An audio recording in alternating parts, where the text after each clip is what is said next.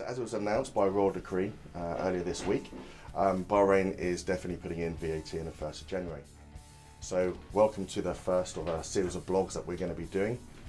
over the course of the, the next uh, few months as we track the, uh, the, the, uh, the, progress of the VAT, new legislation coming out, and of course we'll be offering uh, some advice or some uh, tips predominantly around how you will in introduce the VAT to your ERP systems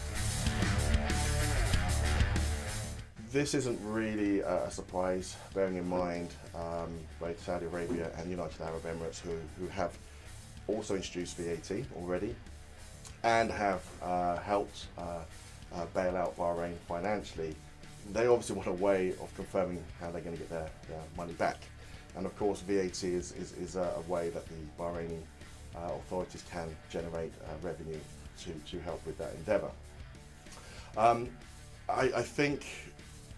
the lessons learned um, previously uh, with Saudi Arabia and United Arab Emirates is that this is not going to be a soft landing. This is going to be um, a, uh, a, tax regime that's going to be introduced,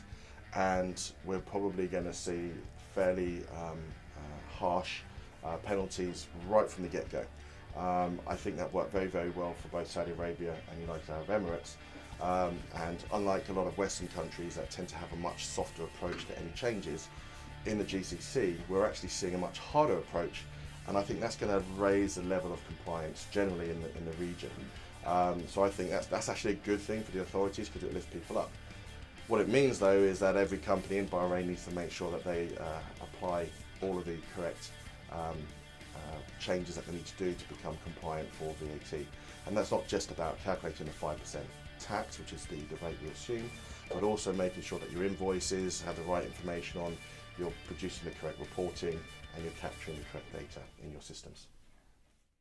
Our next video will be uh, about some of the tips and tricks that you can use that you know companies should have uh, uh, adopted when they're rolling out in KSA and UAE, which will help you get ready to ultimately be uh, uh, compliant for the 1st of January 2019.